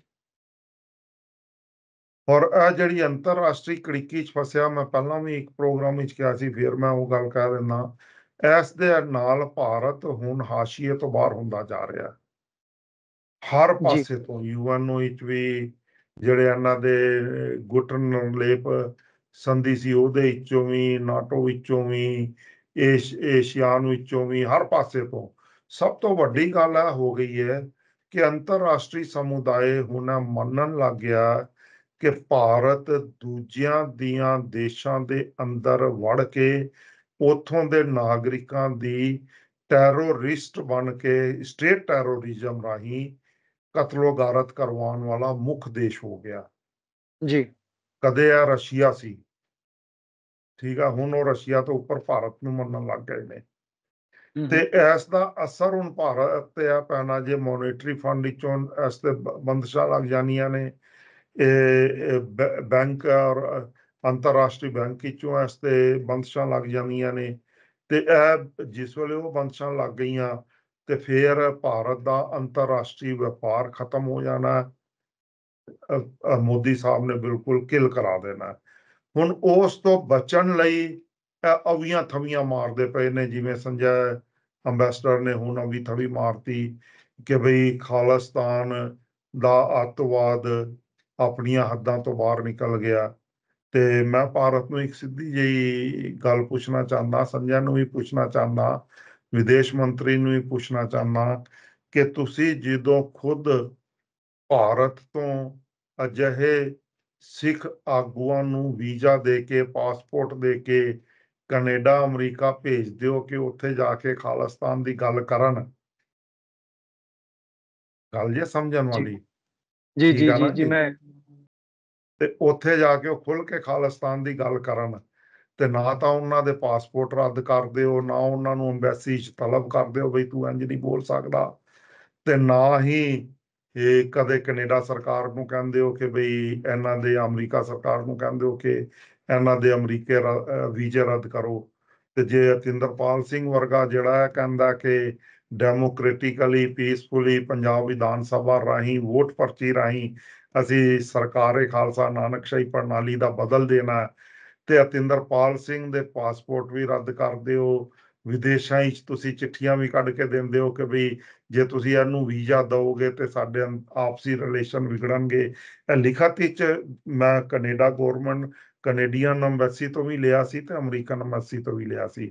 ਤੁਸੀਂ ਜੀ। ਦੇਖੋ ਕਿ ਮੇਰੀ ਬੇਟੀ ਅਮਰੀਕਨ ਸਿਟੀਜ਼ਨ ਹੈ। ਉਹ ਵੀ ਉਹਨੇ ਵੀ ਮੇਰੇ ਬਾਰੇ ਚ ਅਪਲਾਈ ਕੀਤਾ ਹੋਇਆ ਕਿ ਜੀ। ਮੈਂ ਪਿਓ ਨੂੰ ਬੁਲਾਉਣਾ ਚਾਹੁੰਦੀ ਆ ਤੇ ਪਿਛਲੇ 15 ਸਾਲ ਤੋਂ ਬੁਲਾ ਨਹੀਂ ਸਕੀ ਸਹੀ ਤੇ ਇੱਥੋਂ ਜੇ ਖਾਲਿਸਤਾਨੀ ਲੀਡਰ ਚਲੇ ਜਾਂਦੇ ਨੇ ਔਰ ਉਹਨਾਂ ਨੂੰ ਤੁਸੀਂ ਫੈਸਿਲਿਟੇਟ ਕਰਦੇ ਹੋ ਸਹੂਲਤਾਂ ਦਿੰਦੇ ਹੋ ਤੇ ਫਿਰ ਤੁਸੀਂ ਇਹ ਕਹਿੰਦੇ ਹੋ ਕਿ ਖਾਲਿਸਤਾਨ ਆਪਣੀ ਹੱਦਾਂ ਤੋਂ ਬਾਹਰ ਨਿਕਲ ਗਿਆ ਤੇ ਇਸ ਪਾਲਿਸੀ ਨੂੰ ਸਿੱਖਾਂ ਨੂੰ ਹੀ ਸਮਝਣਾ ਚਾਹੀਦਾ ਹੈ। ਸਭ ਤੋਂ ਪਹਿਲਾਂ ਸਿੱਖਾਂ ਨੂੰ ਸਮਝਣਾ ਚਾਹੀਦਾ ਕਿ ਦੁਸ਼ਮਣ ਕਿਹੜੀ ਪਾਲਿਸੀ ਤੇ ਇਸਤੇਮਾਲ ਹੋ ਰਿਹਾ ਹੈ। ਤੇ ਫਿਰ ਸਾਡੇ ਉਹੀ ਆਗੂ ਗੁਰਦੁਆਰਿਆਂ ਦੀਆਂ ਸਟੇਜਾਂ ਤੇ ਚੜ ਕੇ ਇਹ ਕਹਿੰਦੇ ਨੇ ਕਿ ਭਈ ਭਾਰਤ ਸਰਕਾਰ ਇਹ ਕਹਿੰਦੀ ਹੈ ਕਿ ਖਾਲਿਸਤਾਨ ਸਿਰਫ ਵਿਦੇਸ਼ਾਂ ਵਿੱਚ ਹੈ। ਠੀਕ ਹੋਰ ਭਾਰਤ ਵਿੱਚ ਹੈ ਹੀ ਨਹੀਂ ਤੇ ਉਹ ਫਿਰ ਨੈਰੇਟਿਵ ਸਿਰਜਦੇ ਨੇ। ਤੇ ਮੈਂ ਉਹਨਾਂ ਸਾਰੇ ਆਗੂਆਂ ਨੂੰ ਹੀ ਪੁੱਛਣਾ ਚਾਹੁੰਦਾ ਕਿ ਜਿਸ ਵੇਲੇ ਡੈਮੋਕ੍ਰੈਟਿਕ ਭਾਰਤ ਵਿੱਚ ਭਾਰਤ ਵਿੱਚ ਅਤਿੰਦਰਪਾਲ ਸਿੰਘ ਭਾਰਤ ਦੀ ਸੰਸਦ ਵਿੱਚ ਵਿਧਾਨ ਸਭਾ ਲਈ ਕਾਨੂੰਨ ਵਿੱਚ, ਅਦਾਲਤ ਵਿੱਚ, ਪ੍ਰਸ਼ਾਸਨ ਵਿੱਚ ਖਾਲਿਸਤਾਨ ਨੂੰ ਪ੍ਰਵਾਨ ਕਰਵਾਉਂਦਾ ਤੇ ਫਿਰ ਤੁਸੀਂ ਲੋਕ ਹੀ ਉਹਨੂੰ ਆ- ਗੱਦਾਰ ਕਹਿੰਦੇ ਹੋ ਤੇ ਭਾਰਤ ਵਿੱਚ ਤੁਸੀਂ ਉਸ ਦੇ ਏਜੰਡੇ ਨੂੰ ਰੱਦ ਕਰਦੇ ਹੋ। ਤੇ ਸਿੱਖ ਫਾਰ ਜਸਟਿਸ ਵਾਲਿਆਂ ਨੂੰ ਬਾਹਰ ਤੁਸੀਂ ਪ੍ਰਵਾਨਗੀ ਦਿੰਦੇ ਹੋ। ਤੇ ਬਾਹਰਲੀਆਂ ਸਟੇਜਾਂ ਤੇ ਚੜ ਕੇ ਤੁਸੀਂ ਵੀ ਕਹਿੰਦੇ ਹੋ ਖਾਲਿਸਤਾਨ ਖਾਲਿਸਤਾਨ। ਤੇ ਫਿਰ ਤੁਸੀਂ ਭਾਰਤ ਸਰਕਾਰ ਦੇ ਏਜੰਡੇ ਤੇ ਹੀ ਘੁੰਮਦੇ ਪਏ ਹੋ ਔਰ ਕਹਿੰਦੇ ਪਏ ਹੋ ਨਾ। ਔਰ ਜੇ ਭਾਰਤ ਸਰਕਾਰ ਕਹਿੰਦਾ ਵੀ ਪੰਜਾਬ ਵਿੱਚ ਇਹ ਏਜੰਡਾ ਨਹੀਂ ਹੈ, ਤੇ ਫਿਰ ਇਸੇ ਕਰਕੇ ਤੁਸੀਂ ਅਤਿੰਦਰਪਾਲ ਸਿੰਘ ਦਾ ਵਿਰੋਧ ਕਰਦੇ ਹੋ ਨਾ, ਜਿਹੜੀ ਪਾਰਲੀਮੈਂਟ ਤੋਂ ਮੋਹਰ ਲਵਾਈ ਖਾਲਿਸਤਾਨ ਦੀ, ਉਸ ਨੂੰ ਪ੍ਰਵਾਨਗੀ ਨਹੀਂ ਦਿੰਦੇ ਨਾ, ਕਿ ਭਈ ਹਾਂ, ਭਾਰਤ ਸਰਕਾਰ ਆ ਕਹਿਣ ਜੋਗੀ ਰਹੇ ਕਿ ਭਈ ਭਾਰਤ ਵਿੱਚ ਖਾਲਿਸਤਾਨ ਦੀ ਕੋਈ ਗੱਲ ਨਹੀਂ ਹੈ। ਇਹ ਚੀਜ਼ਾਂ ਸਮਝ ਆ ਬੜੀਆਂ ਬਰੀਕ ਬਿੰਨੀ ਨਾਲ ਚੀਜ਼ਾਂ ਸਮਝਣ ਵਾਲੀਆਂ ਨੇ। ਤੇ ਮੈਂ ਅੰਤਰਰਾਸ਼ਟਰੀ ਸਮੁਦਾਇ ਇਹ ਚੀਜ਼ਾਂ ਸਮਝਣ ਲੱਗ ਗਿਆ। ਹੁਣ ਉਹ ਕਹਾਣੀ ਅੱਗੇ ਵਧਦੀ ਪਈ। ਕਈ ਵਾਰੀ ਇੱਥੇ ਮੈਂ ਇੱਕ ਗੱਲ ਕਰਨੀ ਚਾਹੁੰਦਾ ਸੀਗਾ। ਕਾਫੀ ਦੇਰ। ਤੋਂ ਮੇਰੇ ਮਨ ਦੇ ਵਿੱਚ ਇਹ ਗੱਲ ਖਟਕਦੀ ਪਈ ਸੀ ਔਰ ਤੁਸੀਂ ਅੱਜ ਅਚਾਨਕ ਉਹ ਵਿਸ਼ਾ ਹੀ ਛੋ ਲਿਆ। ਜੀ। ਅਕਸਰ ਕਿਹਾ ਜਾਂਦਾ ਹੈ ਕਿ ਇਹ ਲੋਕ ਖਾਲਿਸਤਾਨ ਦੀ ਲੜਾਈ ਲੜਦੇ ਪਏ ਨੇ। ਹਾਂਜੀ। ਲੇਕਿਨ ਉਹ ਭਾਰਤੀ ਪਾਸਪੋਰਟ ਦੇ ਉੱਤੇ ਇਸ ਤਰ੍ਹਾਂ ਸਫ਼ਰ ਕਰਦੇ ਨੇ ਜਿਸ ਤਰ੍ਹਾਂ ਕਿਸੇ ਨੇ ਅੰਮ੍ਰਿਤਸਰ ਤੋਂ ਜਲੰਧਰ ਜਾਣਾ ਹੋਵੇ। ਬਿਲਕੁਲ ਉਹ ਵਿਦੇਸ਼ਾਂ ਦੇ ਵਿੱਚੋਂ ਆਉਂਦੇ ਜਾਂਦੇ ਨੇ। ਜੀ, ਔਰ ਵਿਦੇਸ਼ਾਂ ਦੇ ਵਿੱਚ ਵੀ ਬੜੀ ਚੜ੍ਹਦੀ ਕਲਾ ਦੇ ਨਾਲ ਖਾਲਿਸਤਾਨ ਦੀ ਗੱਲ ਕਰਦੇ ਨੇ ਦੇਸ਼ ਵਿੱਚ ਆ ਕੇ ਵੀ ਖਾਲਿਸਤਾਨ ਦੀ ਗੱਲ ਕਰਦੇ ਨੇ। ਬਿਲਕੁਲ। ਏਜੰਸੀਆਂ ਸੁੱਤੀਆਂ ਪਈਆਂ ਹੁੰਦੀਆਂ ਉਸ ਵੇਲੇ। ਮੈਂ ਤਾਂ ਤੁਹਾਨੂੰ ਤਾਂ ਹੀ ਕਹਿ ਦਿੱਤਾ ਕਿ ਅਤਿੰਦਰਪਾਲ ਸਿੰਘ ਜਿਹੜਾ ਕਨਸਟੀਟਿਊਸ਼ਨਲੀ ਕਾਨੂੰਨੀ ਅੰਤਰਰਾਸ਼ਟਰੀ ਪੱਧਰ ਤੇ ਜਿਸ ਚੀਜ਼ ਨੂੰ ਪ੍ਰਵਾਨ ਕੀਤਾ ਜਾਂਦਾ ਜਦੋਂ ਉਹਦੇ ਚ ਮਾਨਤਾ ਦਵਾਉਂਦਾ ਜਦ ਭਾਰਤ ਦੀ ਸੰਸਦ ਵਿੱਚ ਮਾਨਤਾ ਦਵਾਤੀ ਤੇ ਕਿਸੇ ਵੀ ਸਿੱਖ ਆਗੂ ਕਿਸੇ ਵੀ ਭਾਰਤੀ ਸੋ ਕਾਲਡ ਖਾਲਿਸਤਾਨੀ ਨੇ ਅੱਜ ਤੱਕ ਹਮਾਇਤ ਨਹੀਂ ਕੀਤੀ। ਕਿਉਂ ਨਹੀਂ ਕੀਤੀ? ਇਸੇ ਕਰਕੇ ਕਿ ਬਈ ਇਹ ਸਾਬਤ ਨਾ ਹੋ ਜਾਏ ਬਈ ਭਾਰਤ ਵਿੱਚ ਖੁਦ ਭਾਰਤੀ ਕਨਸਟੀਟਿਊਸ਼ਨ ਦੇ ਅੰਦਰ ਖਾਲਿਸਤਾਨ ਦੀ ਗੱਲ ਚੱਲ ਰਹੀ ਹੈ। ਐਸੇ ਕਰਕੇ। ਨਹੀਂ ਕਰਦੇ ਤੇ ਉਹਨੂੰ ਤਾਰਪੀਡੋ ਕਰਨ ਲਈ ਉਹਨਾਂ ਨੂੰ ਇਹ ਸਹੂਲਤਾਂ ਮਿਲਦੀਆਂ ਨੇ ਬਈ ਅਤਿੰਦਰਪਾਲ ਸਿੰਘ ਨੂੰ ਇੰਡੀਆ 'ਚ ਤਾਰਪੀਡੋ ਕਰੋ ਕਿਉਂਕਿ ਇਹ ਏਜੰਡਾ ਕਨਸਟੀਟਿਊਸ਼ਨਲੀ ਅੱਗੇ ਨਹੀਂ ਵਧਣਾ ਚਾਹੀਦਾ। ਟੈਰੋਰਿਜ਼ਮ ਰਾਹੀਂ ਨਾਅਰੇਬਾਜ਼ੀ ਰਾਹੀਂ ਅੱਗੇ ਵਧਾਓ ਕਿਉਂਕਿ ਉਸ ਨਾਲ ਪੂਰੇ ਅੰਤਰਰਾਸ਼ਟਰੀ ਪੱਧਰ ਤੇ ਸਿੱਖਾਂ ਨੂੰ ਅੱਤਵਾਦੀ ਵੱਖਵਾਦੀ ਬੁਰਛਾਗਰਦ ਅਤੇ ਸਰਕਾਰਾਂ ਨੂੰ ਤੇ ਕਾਨੂੰਨ। ਕਾਨੂੰਨ ਨੂੰ ਚੁਣੌਤੀ ਦੇਣ ਵਾਲਾ ਮੰਨਿਆ ਜਾਂਦਾ। ਉਹ ਕੰਮ ਕਰੋ। ਪਰ ਜਿਹੜੇ ਕਾਨੂੰਨੀ ਨੇ ਉਹ ਬਿਲਕੁਲ ਨਹੀਂ ਕਰਨ ਦੇਣੇ ਤੁਹਾਨੂੰ। ਹੋਰ ਆਹ ਚੀਜ਼ਾਂ ਇਹਨਾਂ ਨੂੰ ਫਿਰ ਪਾਸਪੋਰਟ ਦਵਾਉਂਦੀਆਂ ਨੇ। ਕਾਨੂੰਨ ਦੀ ਗੱਲ ਚੱਲੀ ਹੈ ਤੇ ਇੱਕ ਗੱਲ ਅਸੀਂ ਅੱਜ ਕਾਨੂੰਨ ਦੀ ਵੀ ਕਰੀਏ। ਮਹਾਰਾਸ਼ਟਰ ਸਰਕਾਰ ਜਿਹੜੀ ਹੈ ਜਿੱਥੇ ਏਕਨਾਥ ਸ਼ਿੰਦੇ ਜਿਹੜੇ ਹੈਗੇ ਨੇ ਮੁੱਖ ਮੰਤਰੀ ਹੈਗੇ ਨੇ ਉਹਨਾਂ ਨੇ 2023 ਦੇ ਵਿੱਚ ਇੱਕ ਐਕਟ ਤਿਆਰ ਕਰਵਾਇਆ ਸੀ ਦਾ ਤਖਤ ਹਜ਼ੂਰ ਅਬਚਲ ਨਗਰ ਸਾਹਿਬ ਬੋਰਡ। ਹਾਂਜੀ। ਇਹ ਨਵਾਂ ਐਕਟ ਇਹਨਾਂ ਨੇ ਜਾਰੀ ਕਰਵਾਤਾ ਔਰ ਇਸ ਐਕਟ ਬਾਰੇ ਪਹਿਲਾਂ ਤੇ ਉਹਨਾਂ ਦੇ ਮਾਲ ਮੰਤਰੀ ਦੀ ਅਗਵਾਈ ਦੇ ਵਿੱਚ ਇੱਕ ਸਬ ਕਮੇਟੀ ਬਣੀ ਸੀ ਜਿਹੜੀ ਇਹ ਵਿਚਾਰ ਕਰੇਗੀ ਕਿ ਇਹ ਐਕਟ ਲਾਗੂ ਕੀਤਾ ਜਾਵੇ ਜਾਂ ਨਾ ਕਿਉਂਕਿ ਸਿੱਖਾਂ ਨੇ ਕਾਫੀ ਵਿਰੋਧ ਕੀਤਾ ਸੀ ਮਹਾਰਾਸ਼ਟਰ ਦੇ ਸਿੱਖਾਂ ਨੇ। ਖਾਸ ਕਰਕੇ ਉਸ ਇਲਾਕੇ ਦੇ ਦੱਖਣੀ ਸਿੱਖਾਂ ਨੇ ਇਸ ਗੱਲ ਨੂੰ ਲਿਆ ਸੀਗਾ ਕਿ ਇਹ ਸਾਡੇ ਧਾਰਮਿਕ ਮਾਮਲੇ 'ਚ ਦਖਲ ਹੈ। ਪੂਰੇ ਭਾਰਤ ਦੇ ਸਿੱਖਾਂ ਨੇ ਵੀ ਰੋਸ ਪ੍ਰਗਟ ਕੀਤਾ ਸੀ। ਉਸ ਵੇਲੇ ਇਹ ਮਾਮਲਾ ਜਿਹੜਾ ਸੀਗਾ, ਅਦਾਲਤ ਵਿੱਚ ਲਿਜਾਇਆ ਗਿਆ ਸੀ। ਕੱਲ ਸੰਭਾਜੀ ਨਗਰ ਕੋਈ ਉੱਥੇ ਹੈਗਾ। ਉੱਥੋਂ ਦੀ ਅਦਾਲਤ ਦੇ ਵਿੱਚ ਸਰਕਾਰ ਨੇ ਇੱਕ ਹਲਫੀਆ ਬਿਆਨ ਦੇ ਕੇ ਕਿਹਾ ਕਿ ਅਸੀਂ ਇਸ ਕਾਨੂੰਨ ਦੀ ਘੋਖ ਕਰ ਲਈਏ। ਇਹ ਕਾਨੂੰਨ ਬੜਾ ਪਾਰਦਰਸ਼ੀ ਹੈ, ਬੜਾ ਸਾਫ਼ ਸੁਥਰਾ ਹੈ, ਬੜਾ ਵਧੀਆ ਕਾਨੂੰਨ ਹੈ। ਇਸ ਨੂੰ ਲਾਗੂ ਹੋਣ ਦੇ ਨਾਲ ਬਹੁਤ ਕੁਝ ਬਦਲ ਜਾਏਗਾ। ਔਰ ਅਫਸੋਸ ਦੀ ਗੱਲ ਹੈਗੀ ਹੈ ਕਿ ਹਾਲੇ ਤੱਕ ਜਿਹੜਾ ਸਿੱਖ ਜਥੇਬੰਦੀਆਂ ਇਸ ਮਾਮਲੇ ਤੇ ਗੰਭੀਰ ਨਹੀਂ ਹੋ ਸਕੀਆਂ। ਦੇਖੋ ਸਿੱਖ ਹਮੇਸ਼ਾ ਹੀ ਪਹਿਲਾਂ ਦੁਸ਼ਮਣ ਨੂੰ ਕਾਰਵਾਈ ਮੁਕੰਮਲ ਕਰਨ ਦਿੰਦੇ ਨੇ ਫਿਰ ਉਸ ਤੋਂ ਬਾਅਦ ਰੋਲਾ ਪਾਉਂਦੇ ਨੇ ਸਾਡੇ ਨਾਲ ਆ ਹੋ ਗਿਆ ਆ ਹੋ ਗਿਆ ਆ ਹੋ ਗਿਆ। ਜਿਸ ਵੇਲੇ ਕਾਨੂੰਨ ਫਰਵਰੀ ਚ ਸਰਗਰਮੀ ਨਾਲ ਸਾਹਮਣੇ ਆਇਆ ਤੇ ਪਹਿਲਾਂ ਹੀ ਗੈਰ ਸਿੱਖ ਨੂੰ ਉਹਨਾਂ ਨੇ ਉੱਥੇ ਪ੍ਰਧਾਨ ਲਾ ਦਿੱਤਾ ਪ੍ਰਸ਼ਾਸਕ ਪ੍ਰਸ਼ਾਸਕ ਤੇ ਉਸ ਤੋਂ ਬਾਅਦ ਜਦੋਂ ਰੋਲਾ ਪਿਆ ਤੇ ਫਿਰ ਇੱਕ ਸਿੱਖ ਨੂੰ ਲਾਤਾ ਜਿਹੜਾ ਬਸ ਚਿਹਰੇ ਤੋਂ ਹੀ ਸਿੱਖ ਹੈਗਾ ਉਹ ਸਿੱਖ ਨਹੀਂ ਹੈ। ਜਦੋਂ ਇਸ ਕਾਨੂੰਨ ਦਾ ਰੋਲਾ ਪਿਆ ਤਾਂ ਫਟਾਫਟ ਅਕਾਲ ਤਖਤ ਸਾਹਿਬ ਨੂੰ ਮਿਲਣ ਵੀ ਆ ਗਿਆ ਤੁਸੀਂ ਉਹਦੀ ਬਾਈਟ ਵੀ ਲਈ ਸੀ। ਜੀ। ਠੀਕ ਆ ਨਾ ਜੀ ਅਸੀਂ ਉਹ ਪ੍ਰਕਾਸ਼ਿਤ ਵੀ ਕੀਤੀ ਸੀ ਚਾੜੀ ਵੀ ਹੈ ਪਈ ਹੈ। ਤੇ ਉਹ ਕਹਿ ਗਿਆ ਕਿ ਐਸਾ ਕੁਝ ਨਹੀਂ ਹੈ ਜੀ ਕੁਝ ਨਹੀਂ ਹੋ ਰਿਹਾ ਤੇ ਮੈਂ ਉਦੋਂ ਵੀ ਕਿਹਾ ਸੀ ਤੁਹਾਨੂੰ ਧੋਖਾ ਦਿੱਤਾ ਜਾ ਰਿਹਾ ਅਕਾਲ ਤਖਤ ਸਾਹਿਬ ਨੂੰ ਧੋਖਾ ਦਿੱਤਾ ਜਾ ਰਿਹਾ। ਐਸਜੀਪੀਸੀ ਨੂੰ ਤੇ ਸਿੱਖ ਕੌਮ ਨੂੰ ਧੋਖਾ ਦਿੱਤਾ ਜਾ ਰਿਹਾ। ਉਹ ਗਲਤ ਬਿਆਨੀ ਕਰਕੇ ਗਿਆ ਅਕਾਲ ਤਖਤ ਸਾਹਿਬ ਤੇ ਉਦੋਂ ਸਿੱਖਾਂ ਨੇ ਨੋਟਿਸ ਨਹੀਂ ਲਿਆ। ਮੈਂ ਉਦੋਂ ਹੀ ਕਿਹਾ ਸੀ ਵੀ ਆਦੇ ਖਿਲਾਫ ਮਾਨਹਾਨੀ ਦਾ ਕੇਸ ਕਰ ਦਿਓ। ਹਮ, ਸਿੱਖ ਜਾਗਰਤ ਨਹੀਂ ਹੋਏ ਐਸਜੀਪੀਸੀ ਵੀ ਨਹੀਂ ਹੋਈ ਅਕਾਲੀ ਦਲ ਵੀ ਜਾਗਰਤ ਨਹੀਂ ਹੋਇਆ। ਉਦੋਂ ਹੀ ਮੈਂ ਕਿਹਾ ਸੀ ਵੀ ਕਾਨੂੰਨ ਨੂੰ ਹਲੇ ਰੱਦ ਨਹੀਂ ਜੇ ਕੀਤਾ ਗਿਆ। ਨਾ ਵਾਪਸ ਲਿਆ ਗਿਆ। ਉਹ ਸਿਰਫ ਇਹ ਕਹਿ ਰਹੇ ਨੇ ਸ਼ਿੰਦੇ ਸਾਹਿਬ ਨੇ ਆ ਕਿ ਅਸੀਂ ਅਸੀਂ ਪੁਨਰ ਵਿਚਾਰ ਕਰਾਂਗੇ। ਜੀ ਬਿਲਕੁਲ। ਆਪਣੀ ਥਾਂ ਤੇ ਠੀਕ ਨੇ ਉਹ ਪੁਨਰ ਵਿਚਾਰ ਕਰਕੇ ਉਹਨਾਂ ਨੇ ਕਹਿਤਾ ਵੀ 17 ਮੈਂਬਰੀ ਬੋਰਡ ਹੋਏਗਾ 12 ਮੈਂਬਰ ਸਰਕਾਰ ਦੇ ਹੋਣਗੇ ਪੰਜ ਮੈਂਬਰਾਂ ਵਿੱਚੋਂ ਤਿੰਨ ਮੈਂਬਰ ਲੋਕਲ ਲੋਕ ਚੁਣ ਲੈਣਗੇ ਦੋ ਮੈਂਬਰ ਐਸਜੀਪੀਸੀ ਆਪਣੇ ਕਰ ਲੇਗੀ ਤੇ ਬਾਕੀ ਸਾਰਾ ਉਹਨਾਂ ਨੇ ਉਸ ਤਰ੍ਹਾਂ ਮੈਂ ਤਾਂ ਕਹਾਂਗਾ ਉਸ ਤਰ੍ਹਾਂ ਫੇਰਤਾ। ਹਜਾਮਤ ਕੀਤੀ ਆ ਉਹਨਾਂ ਨੇ। ਜੀ ਬਿਲਕੁਲ। ਜੇ ਅਕਾਲ ਤਖਤ ਸਾਹਿਬ ਅਤੇ ਐਸਜੀਪੀਸੀ ਨੂੰ ਸਮਝ ਨਾ ਆਏ ਇਹਨੂੰ ਹਜਾਮਤ ਕਰਨਾ ਕਹਿੰਦੇ ਨੇ, ਉਸ ਤਰ੍ਹਾਂ ਫੇਰਨਾ। ਤੇ ਹੁਣ ਉਹਨਾਂ ਨੇ ਕਹਿਤਾ ਜੀ, ਅਸੀਂ ਪੁਨਰ ਵਿਚਾਰ ਕਰ ਲਿਆ। ਹੁਣ ਸੰਭਾਜੀ ਨਗਰ ਵਿੱਚ ਕੇਸ ਚੱਲ ਰਿਹਾ ਸੀ, ਬਕਾਇਦਾ ਚੱਲ ਰਿਹਾ ਸੀ। ਮਹਾਰਾਸ਼ਟਰ ਦਾ ਸਿੱਖ ਤਾਂ ਸੱਤਾ ਲੋਭ ਤੇ ਪ੍ਰਲੋਭਨ ਕਰਕੇ ਚੁੱਪ ਰਿਹਾ। ਉਹਨੂੰ ਕੀ ਪਤਾ ਨਹੀਂ ਸੀ ਕੇਸ ਚੱਲ ਰਿਹਾ। ਮਹਾਰਾਸ਼ਟਰ ਬੋਰਡ ਨੂੰ ਵੀ ਪਤਾ ਸੀ। ਅਹ ਤਖਤ ਸ੍ਰੀ ਹਜੂਰ ਸਾਹਿਬ ਅਫਚਲ ਨਗਰ ਨੂੰ ਵੀ ਪਤਾ ਸੀ। ਤਖਤ ਸ੍ਰੀ ਅਬਜੂ ਹਜੂਰ ਸਾਹਿਬ ਅਬਚਲ ਨਗਰ ਦੀ ਜਿਹੜੀ ਦੱਖਣੀ ਸਿੱਖ ਐਸੋਸੀਏਸ਼ਨ ਹੈ, ਉਹਨੂੰ ਵੀ ਪਤਾ ਸੀ। ਕੇਂਦਰੀ ਸ੍ਰੀ ਗੁਰੂ ਸਿੰਘ ਸਭਾ ਮੱਧ ਪ੍ਰਦੇਸ਼ ਨੂੰ ਵੀ ਪਤਾ ਸੀ, ਕਿਉਂਕਿ ਉਹਨਾਂ ਦਾ ਮੈਂਬਰ ਉੱਥੇ ਹਮੇਸ਼ਾ ਨਿਯੁਕਤ ਹੁੰਦਾ ਰਿਹਾ। ਪਹਿਲਾਂ ਸਰਦਾਰ ਪ੍ਰੀਤਮ ਸਿੰਘ ਉੱਥੇ ਮੈਂਬਰ ਹੁੰਦੇ ਸਨ। ਉਸ ਤੋਂ ਇਲਾਵਾ ਕੇਂਦਰੀ ਸ੍ਰੀ ਗੁਰੂ ਸਿੰਘ ਸਭਾ ਛੱਤੀਸਗੜ੍ਹ ਨੂੰ ਵੀ ਪਤਾ ਸੀ ਕਿ ਭਈ ਇਹ ਕੇਸ ਚੱਲ ਰਿਹਾ ਹੈ। ਐਸਟੀਪੀਸੀ ਨੂੰ ਵੀ ਪਤਾ ਸੀ ਇਹ ਕੇਸ ਚੱਲ ਰਿਹਾ ਹੈ। ਤੇ ਉੱਥੇ ਆ ਪਾਰਟੀ ਕਿਉਂ ਨਾ ਬਣੇ ਉਸ ਕੇਸ ਵਿੱਚ? ਸਰਦਾਰ ਸਾਹਿਬ ਇਹ ਤੇ। ਇੱਕ ਤਿਆਰੀ ਸ਼ੁਰੂਆਤੀ ਦੌਰ ਹੈ ਨਾ ਕਿ ਤਖਤ ਹਜ਼ੂਰ ਸਾਹਿਬ ਦੇ ਐਕਟ ਨੂੰ ਕਿਸੇ ਤਰੀਕੇ ਵੀ ਦਸਤਬਰਦਾਰ ਕਰਕੇ ਆਪਣੀ ਮਰਜ਼ੀ ਦਾ ਐਕਟ ਬਣਾ ਲਿੱਤਾ ਜਾਵੇ ਆਪਣੀ ਮਰਜ਼ੀ ਦੇ ਮੈਂਬਰ ਪਾਲੇ ਜਾਣ ਪਟਨਾ ਸਾਹਿਬ ਵੀ ਇਹੋ ਕੁਝ ਹੀ ਹੋਵੇਗਾ ਮੈਂ ਸਮਝਦਾ ਕਿ ਦਿੱਲੀ 'ਚ ਵੀ ਇਹੋ ਕੁਝ ਹੋਏਗਾ ਹਰਿਆਣੇ 'ਚ ਵੀ ਇਹੋ ਕੁਝ ਕੀਤਾ ਜਾਣਾ ਔਰ ਪੰਜਾਬ ਦੇ ਵਿੱਚ ਖਾਸ ਕਰ ਜਿਸ ਸੰਸਥਾ ਨੂੰ ਅਸੀਂ ਕਹਿੰਦੇ ਆ ਕਿ ਇਹ ਸਿੱਖਾਂ ਦੀ ਪਾਰਲੀਮੈਂਟ ਹੈ ਜਿਸ ਸੰਸਥਾ ਬਾਰੇ ਅਸੀਂ ਕਹਿੰਦੇ ਆ ਕਿ ਇਸ ਇਸ ਸੰਸਥਾ ਨੂੰ ਮਾਣ ਹੈ ਕਿ ਏਸ਼ੀਆ ਦੀਆਂ ਪਹਿਲੀਆਂ ਚੋਣਾਂ ਇਸ ਸੰਸਥਾ ਦੀਆਂ ਹੋਈਆਂ ਸੀ। ਸੰਸਥਾ ਨੂੰ ਤਾਰ-ਤਾਰ ਕਰਨ ਦੀਆਂ ਤਿਆਰੀਆਂ ਹੋ ਰਹੀਆਂ। ਜੇ ਸਿੱਖ ਅੱਜ ਵੀ ਸੁਚੇਤ ਨਾ ਹੋਏ ਤਾਂ ਕਿੱਥੇ ਜਾਵਾਂਗੇ? ਕੀ ਕਰਨਾ ਚਾਹੀਦਾ ਸਿੱਖਾਂ ਨੂੰ ਇਹਦੇ ਬਾਰੇ? ਭਾਜੀ ਅਹ, ਛੱਡਣਾ ਚਾਹੀਦਾ ਸੱਤਾ ਨਾਲ ਮਿਲ ਕੇ ਤੁਰਨਾ ਛੱਡਣਾ ਚਾਹੀਦਾ ਸੱਤਾ ਵਿੱਚੋਂ ਮਿਲਦੇ ਨਿੱਕੇ ਨਿੱਕੇ ਲਾਲੀਪੌਪ ਚੂਸਣੇ ਬੰਦ ਕਰਨੇ ਚਾਹੀਦੇ ਆ। ਜਿਹੜੇ ਹਰਿਆਣੇ ਵਾਲੇ ਸਿੱਖਾਂ ਨੇ ਵੀ ਚੂਸ ਕੇ ਤੇ ਆਪਣੀ ਬਣਾਈ ਹੋਈ ਇੰਡੀਪੈਂਡੈਂਟ ਬਾਡੀ ਨੂੰ ਵੀ ਆਰਐਸਐਸ ਦੀ ਬਾਡੀ ਬਣਾਤਾ। ਜਿਵੇਂ ਪਟਨਾ ਸਾਹਿਬ ਤੱਕ ਜਾ ਚੁੱਕਾ ਸਾਡੇ ਇੱਥੋਂ, ਹੈ ਨਾ, ਤੋਂ ਹਲੇ ਜਾਣਾ ਹੈ, ਜਾ ਚੁੱਕਾ ਜੰਮੂ ਕਸ਼ਮੀਰ, ਗੁਰਦੁਆਰਾ ਬੋਰਡ ਸਾਡੇ ਇੱਥੋਂ ਜਾ ਚੁੱਕਾ ਹੈ। ਹਰਿਆਣਾ ਸਿੱਖ ਗੁਰਦੁਆਰਾ ਕਮੇਟੀ ਸਾਡੇ ਇੱਥੋਂ ਜਾ ਚੁੱਕੀ ਆਰਐਸਐਸ ਦਾ ਕਬਜ਼ਾ ਹੁਣ ਸੱਚਖੰਡ ਨੰਦੇੜ ਸਾਹਿਬ ਬੋਰਡ ਵੀ ਜਾ ਚੁੱਕਾ ਸਾਡੇ ਇੱਥੋਂ। ਐਵੇਂ ਨਾ ਆਪਾਂ ਭੁਲੇਖੇ ਚ ਰਹੀਏ, ਕਿਉਂਕਿ ਉਹਨਾਂ ਨੇ ਕਾਨੂੰਨ ਬਣਾ ਲਿਆ, ਪਿਛਲਾ ਸਾਰਾ ਕੁਝ ਰੱਦ ਕਰ ਦਿੱਤਾ। ਤੇ ਉਹ ਜਿਹੜਾ ਪਹਿਲਾਂ ਵੀ ਸੀ, ਉਹਦੇ ਵਿੱਚ ਵੀ 50% ਗਲਬਾ ਉਹਨਾਂ ਦਾ ਸੀ ਪਟਨਾ ਸਾਹਿਬ ਬੋਰਡ ਵਿੱਚ ਵੀ ਸੀ ਤੇ ਐਸਜੀਪੀਸੀ ਨੇ ਸਵੀਕਾਰ ਕੀਤਾ ਹੋਇਆ ਸੀ ਆਪਣੇ ਲਾਭ ਕਰਕੇ। ਅਕਾਲੀ ਦਲ ਨੂੰ ਲਾਭ ਪਹੁੰਚਾਉਣ ਲਈ, ਅਕਾਲੀ ਦਲ ਦੀ ਸੱਤਾ ਨੂੰ ਲਾਭ ਪਹੁੰਚਾਉਣ ਲਈ, ਅਕਾਲੀ ਦਲ ਦੀ ਭਾਰਤੀ ਨੇਸ਼ਨ ਨਾਲ ਨਿਭਣ ਦੀ ਨੀਤੀ ਦੇ ਪ੍ਰਲੋਭਨ ਵਿੱਚ ਤਾਂ ਚੁੱਪ ਸੀ। ਤੇ ਹੁਣ ਤਾਂ ਓਪਨਲੀ ਜਾ ਚੁੱਕਾ ਔਰ ਮੈਂ ਤੁਹਾਨੂੰ ਦੱਸਦਾ ਮੱਧ ਪ੍ਰਦੇਸ਼ ਕੇਂਦਰੀ ਸ੍ਰੀ ਗੁਰੂ ਸਿੰਘ ਸਭਾ ਜਾ ਚੁੱਕੀ ਹੈ ਇਹਨਾਂ ਦੇ ਹੱਥ ਚ। ਅੱਜ ਕੱਲ ਉਹਨਾਂ ਦੇ ਗੁਰਮਤ ਟ੍ਰੇਨਿੰਗ ਕੈਂਪ ਵੀ ਜਿਹੜੇ ਆਰਐਸਐਸ ਦੇ ਪੇਰੋਲ ਤੇ ਬੰਦੇ ਨੇ, ਜਿਹੜੇ ਉਹਨਾਂ ਨੇ ਡਿਕਲੇਅਰ ਕੀਤੇ ਸੀ, ਉਹ ਲਾਉਂਦੇ ਨੇ।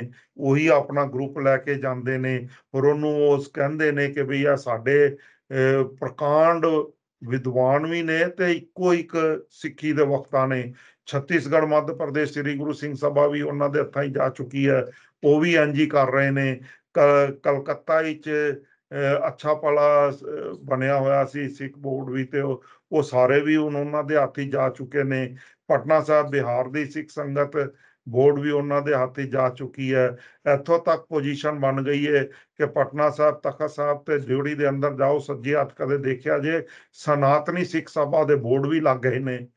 ਦਫ਼ਤਰ ਵੀ ਖੁੱਲ ਗਿਆ ਸਨਾਤਨੀ ਸਿੱਖ ਸਭਾ ਦਾ ਦਫ਼ਤਰ ਸੱਚਖੰਡ ਸ੍ਰੀ ਹਜੂਰ ਸਾਹਿਬ ਵਿੱਚ ਵੀ ਖੁੱਲ ਗਿਆ ਸਨਾਤਨੀ ਸਿੱਖ ਸਭਾ ਦਾ ਦਫ਼ਤਰ ਆਪਣਾ ਹਰਿਆਣੇ ਵਿੱਚ ਵੀ ਖੁੱਲ ਗਿਆ ਸਨਾਤਨੀ ਸਿੱਖ ਆਪਣਾ ਸਭਾ ਦਾ ਦਫ਼ਤਰ ਅੰਮ੍ਰਿਤਸਰ ਵਿੱਚ ਵੀ ਖੁੱਲ ਗਿਆ ਅਸੀਂ ਗੱਲਾਂ ਕੀ ਕਰੀ ਜਾਂਦੇ ਆ ਅਸੀਂ ਤਾਂ ਅੱਖਾਂ ਬੰਦ ਕਰਕੇ ਭੇਡੂਆਂ ਤੋਂ ਵੀ ਮਾੜੀ ਹਾਲਤ ਵਿੱਚ ਪਹੁੰਚ ਗਏ ਹਾਂ। ਇੱਕ ਸਵਾਲ ਜਾਂਦੇ ਜਾਂਦੇ ਆਖਰੀ। ਸਵਾਲ ਹੈ ਸਾਰੀਆਂ ਰਾਜਨੀਤਿਕ ਪਾਰਟੀਆਂ ਦੀ ਨਜ਼ਰ ਜਿਹੜੀ ਹੈ ਉਹ ਸ਼੍ਰੋਮਣੀ ਗੁਰਦੁਆਰਾ ਪ੍ਰਬੰਧਕ ਕਮੇਟੀ ਤੇ ਲੱਗੀ ਹੋਈ ਹੈ। ਜੀ। ਕਾਂਗਰਸ ਚਾਹੁੰਦੀ ਹੈ ਸਾਡੀ ਸੋਚ ਤੇ ਮੈਂਬਰ ਇੱਥੇ ਹਾਊਸ ਦੇ ਵਿੱਚ ਆਣ ਭਾਜਪਾ ਆਪਣੇ ਸੋਚ ਤੇ ਮੈਂਬਰ ਲਿਆਉਣਾ ਚਾਹੁੰਦੀ ਹੈ। ਆਮ ਆਦਮੀ ਪਾਰਟੀ ਆਪਣੀ ਸੋਚ ਲਿਆਉਣਾ ਚਾਹੁੰਦੀ ਹੈ। ਸਾਡੇ ਖਾਲਿਸਤਾਨੀ ਵੀਰ ਆਪਣੀ ਸੋਚ ਰੱਖਣਾ ਚਾਹੁੰਦੇ ਨੇ ਅਕਾਲੀ ਵੀਰ ਆਪਣੀ ਸੋਚ ਰੱਖਣਾ ਚਾਹੁੰਦੇ ਨੇ। ਪੰਥ ਦੀ ਸੋਚ ਮਨਫੀ ਕਿਉਂ ਹੋ ਚੁੱਕੀ ਹੈ? ਇਹ ਸਵਾਲ ਮੈਂ ਇਸ ਕਰਕੇ- ਕੀਤਾ ਹੈ ਇਹ ਸਵਾਲ ਮੈਂ ਇਸ ਕਰਕੇ ਕੀਤਾ ਹੈ ਕਿ ਕੱਲ ਸ਼੍ਰੋਮਣੀ ਕਮੇਟੀ ਦਾ ਇੱਕ ਮੈਂਬਰ ਆਮ ਆਦਮੀ ਪਾਰਟੀ 'ਚ ਸ਼ਾਮਲ ਹੋਇਆ ਮੁੱਖ ਮੰਤਰੀ ਨੇ ਆਪ ਉਸ ਨੂੰ ਸ਼ਾਮਲ ਕੀਤਾ। ਔਰ ਅਗਲੀ ਗੱਲ ਇਹ ਹੈਗੀ ਹੈ ਕਿ ਉਸ ਨੂੰ ਸ਼ਾਮਲ ਕਰਵਾਉਣ ਵਾਲਾ ਆਗੂ ਇਹ ਦਾਵਾ ਕਰਦਾ ਹੈ ਕਿ ਦੋ ਤੋਂ ਤਿੰਨ ਮੈਂਬਰ ਮੈਂ ਹੋਰ ਲੈ ਕੇ ਆ ਰਿਹਾ ਤੇ ਹਾਲੇ ਬੜੇ ਮੈਂਬਰਾਂ ਨੇ ਆਣਾ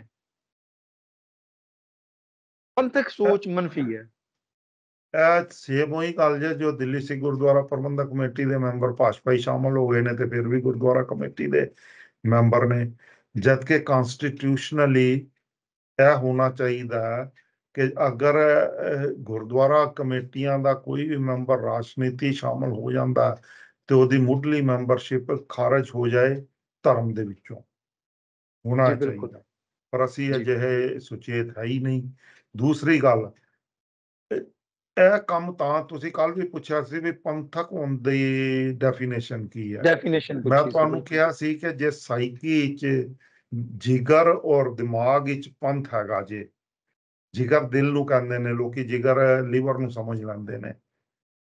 ਠੀਕ ਆ ਨਾ ਜੀ? ਜਿਗਰ ਔਰ ਦਿਮਾਗ ਵਿੱਚ ਇੱਕ ਸੁਰਤਾ ਵਿੱਚ ਜੇ ਪੰਥ ਹੈਗਾ ਔਰ ਪੰਥ ਔਰ ਗੁਰੂ ਗ੍ਰੰਥ ਲਈ ਤੁਸੀਂ ਜੇ ਜੀਵਨਾ ਸਿੱਖ ਗਏ ਹੋ ਆਚਰਨ ਸਿੱਖ ਗਏ ਹੋ, ਤਾਂ ਤੁਸੀਂ ਪੰਥਕ ਹੋ। ਸਾਡੀ ਤਰਾਸਦੀ ਇਹ ਹੈਗੀ ਹੈ ਕਿ ਐਸਜੀਪੀਸੀ ਦੇ ਚਾਹੇ ਮੈਂਬਰ ਹੋਣ, ਚਾਹੇ ਅਕਾਲੀ ਦਲ ਦੇ ਮੈਂਬਰ ਹੋਣ, ਚਾਹੇ ਆਪਣੇ ਆਪ ਨੂੰ ਪੰਥ ਕਹਿਣ ਵਾਲੇ ਹੋਣ ਇਹਨਾਂ ਵਿੱਚ ਜਿਗਰ ਅਤੇ ਦਿਮਾਗ ਤੇ ਰੂਹ ਵਿੱਚ ਪੰਥ ਹੈ ਹੀ ਨਹੀਂ ਜੇ। ਉਹਦਾ ਆਚਰਣ ਹੀ ਨਹੀਂ ਜੇ ਹੈਗਾ, ਉਹਦੀ ਸੁਚੇਤਤਾ ਹੀ ਨਹੀਂ ਜੇ ਹੈਗੀ। ਤੇ ਜਦ ਤੱਕ ਹੁਣ ਪੰਥ ਅਜਹੀ ਸੋਚ ਦੇ ਧਾਰਨੀ ਲੋਕਾਂ ਨੂੰ ਅੱਗੇ ਲਿਆ ਕੇ ਸਿੱਖੀ ਨੂੰ ਨਹੀਂ ਸੰਭਾਲਦਾ, ਮੈਂ ਨਹੀਂ ਕਹਿੰਦਾ ਪੰਥ ਨੂੰ ਨਹੀਂ ਸੰਭਾਲਦਾ, ਸਿੱਖੀ ਨੂੰ ਨਹੀਂ ਸੰਭਾਲਦਾ। ਅਜਿਹੇ ਲੋਕਾਂ ਦਾ ਨੂੰ ਆਪਣਾ ਪੰਥਕ ਨੁਮਾਇੰਦਾ ਬਣਾ ਕੇ ਉਦੋਂ ਤੱਕ ਕੋਈ ਵੀ ਹੁਣ ਸਿੱਖ ਸੰਸਥਾ ਬਚਣੀ ਨਹੀਂ ਜੇ। ਸਾਰੀਆਂ ਦੁਸ਼ਮਣ ਨੇ ਬੂਚ ਲਈਆਂ ਨੇ। ਜਿਵੇਂ ਨੇਜੇ ਤੇ ਬੋਚੀ ਦਾ ਹੈ ਨਾ, ਜਿਵੇਂ ਸਾਡੇ ਸਿਰ ਨੇਜੇ ਤੇ ਬੋਚੇ ਜਾਂਦੇ ਸੀ ਤੇ ਉਹ ਤੇ ਵੱਢ ਕੇ ਬੋਚੇ ਜਾਂਦੇ ਸੀ। ਅੱਜ ਕੱਲ ਇਹਨਾਂ ਨੇ ਡੈਮੋਕ੍ਰੈਟਿਕ ਰਾਹ ਅਪਣਾ ਲਿਆ ਵੀ ਵੱਢੋ ਨਾ। ਨੇਜੇ ਤੇ ਜਿਉਂਦੇ ਹੀ ਬੋਚ ਲਓ ਤੂੰ ਚੂੰ ਚਾਂ ਤਾਂ ਕਰਦੇ ਹੀ ਨਹੀਂ। ਤੇ ਇਹਨਾਂ ਦੇ ਮੂੰਹ ਚ ਲਾਲੀਪਾਪ ਪਾਈ ਜਾਓ ਸ਼ਰਾਬ ਪਾਈ ਜਾਓ ਨਸ਼ਾ ਪਾਈ ਜਾਓ ਇਹਨਾਂ ਦੇ ਸਵਾਰਥ ਪੂਰੀ ਕਰੀ ਜਾਓ ਇਹਨਾਂ ਨੇ ਨਹੀਂ ਜੇ ਬੋਲਣਾ। ਤੇ ਨੇਜੇ ਤੇ ਬੋਚ ਕੇ ਅੱਜ ਕੱਲ ਸਿੱਖਾਂ ਦੇ ਮੁੱਲ ਦਿੱਲੀ ਅੱਗੇ ਤੇ ਦੁਸ਼ਮਣ ਅੱਗੇ ਲੱਗਦੇ ਨੇ ਤੇ ਸਾਡੀ ਸਾਰੀਆਂ ਸੰਸਥਾਵਾਂ ਨੇਜੇ ਤੇ ਬੋਚੀਆਂ ਗਈਆਂ ਨੇ। ਇਹ ਗੱਲ ਸਿੱਖਾਂ ਨੂੰ ਸਮਝ ਸੰਸਥਾਵਾਂ ਲੈਣੀ ਨੂੰ- ਚਾਹੀਦੀ। ਸੰਸਥਾਵਾਂ ਨੂੰ ਬਚਾਉਣ ਲਈ ਕੀ ਕਰਨਾ ਚਾਹੀਦਾ ਲਾਸਟ ਦੇ ਉੱਤੇ ਤੁਸੀਂ ਦੱਸੋ। ਮੈਂ ਫਿਰ ਕਿਹਾ, ਪੰਥ ਨੂੰ ਜਿੰਦਾ ਕਰੋ। ਪੰਥ ਹੈ ਲੋਕ ਨੀਚੇ ਹੈਗੇ। ਪੰਥ ਉਹ ਲੋਕ ਨੇ ਜਿਹੜੇ ਘਰਾਂ 'ਚ ਬੈਠਾ ਹੈ, ਗੁਰਸਿੱਖ, ਜਿਹੜਾ ਗੁਰੂ ਗ੍ਰੰਥ ਤੇ ਗੁਰੂ ਪੰਥ ਲਈ ਮੈਂ ਮਰਾਂ, ਪੰਥ ਜੀਵੇ ਲਈ। ਦਿਮਾਗ, ਸੋਚ, ਪ੍ਰਣਾਲੀ, ਬੁੱਧੀ ਅਤੇ ਆਚਰਣ ਰੱਖਦਾ ਹੈ। ਸਭ ਤੋਂ ਮੁੱਢਲੀ ਚੀਜ਼ ਜੇ ਪਹਿਲਾਂ ਆਚਰਣ ਦੇਖੋ।